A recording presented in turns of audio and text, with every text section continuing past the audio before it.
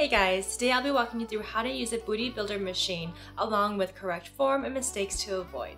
The booty builder machine is simply just a machine that you can do a hip thrust on. If you don't have a booty builder machine at your gym, I'll also link my how to hip thrust video down below for you to reference. Let's get started.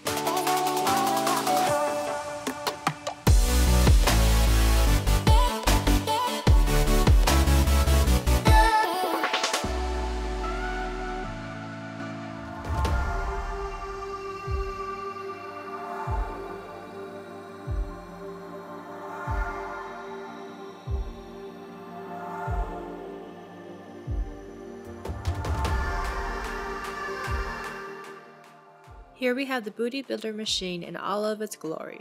Underneath the platform for your feet, you'll find instructions on how to use the machine and recommendations for the machine settings that you can always refer to.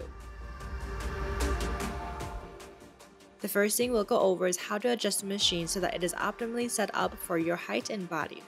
There are two different points of adjustment. The first is on the left side of the seat, which is adjusted by pulling the orange circle up. Once you pull it up, you can slide the seat forward or backwards, and to set the seat in place, release the bar back into one of the holes. The shorter your legs are, the farther forward you'll want to place the seat, and the longer your legs are, the farther back you'll want to place the seat. The second point of adjustment is the height of the seat. Underneath the seat, you'll find an orange lever. Pull the lever up to move the seat up and down. When it is at your desired height, release the lever to lock it into place. I also like to shift the seat up and down a little bit to make sure that the seat is all the way locked in place. The shorter you are, the higher up you'll want the seat, and the taller you are, the lower you'll want the seat. Play around with the adjustments until you find what works for you. After adjusting the machine, add plates on the side if you wish, but be aware the machine itself with no added weight is pretty moderate of a resistance already. Have a seat, put the belt on and buckle it in. I'm hoping you know how to do this yourself already, Place your feet on the platform and you're ready to start hip thrusting. For me, placing my hands behind my head is most comfortable, but do whatever works for you. And of course, let's talk about form. Form will be the same as when you're doing a regular hip thrust.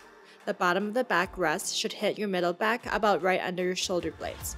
Feet are about shoulder width apart, your knees should come to a 90 degree angle at the top of the hip thrust, chin stays tucked into your chest, and face looking straight ahead at all times. Some people may be able to look straight up at the ceiling while maintaining optimal form and that's fine too. Feet stay flat on the platform at all times. When you're at the bottom of the hip thrust, you want to squeeze your glutes, which will automatically push your hips up, and continue to squeeze your glutes until you can't anymore.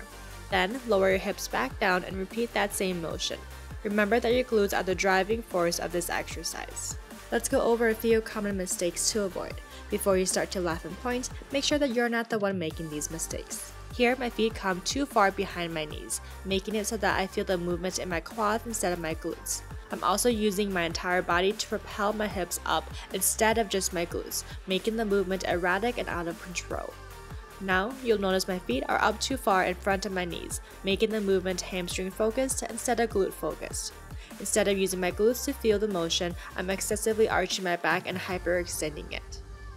Here, my face is looking up at the ceiling, making my spine not neutral and compromising the rest of my form. All these things can lead to injury, which is why you want to make sure to use good form at all times.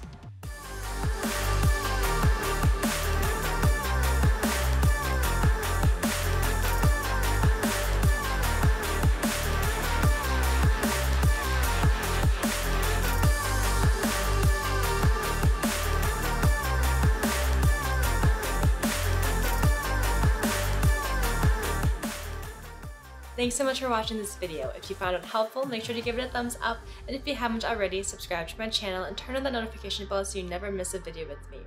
For more workout and fitness tips, make sure to like me on Facebook and follow me on Instagram. I'll see you guys all again next week.